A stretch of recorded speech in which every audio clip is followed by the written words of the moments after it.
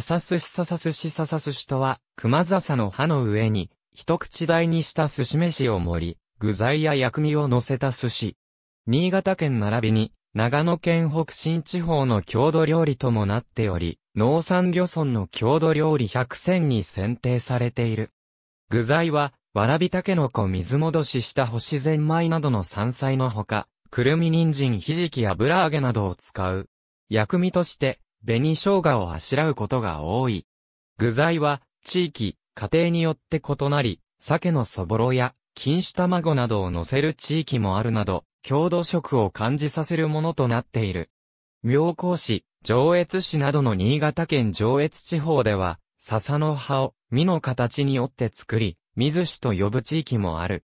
新潟県糸魚川市では、毎年7月7日を、糸魚川、七夕は笹寿司の日として記念日登録し、笹寿司に代表される、糸魚川の郷土料理に親しんでもらおうと、活動している。糸魚川市内でも、市内各地、各家庭により具や作り方は様々でそれぞれの特徴を楽しめる。具材は食べやすいよう小さく切っておく。地域によってはあらかじめ具材を寿司飯に混ぜておく。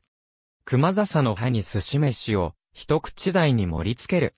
薬味も具材に添えるように寿司飯の上に乗せる。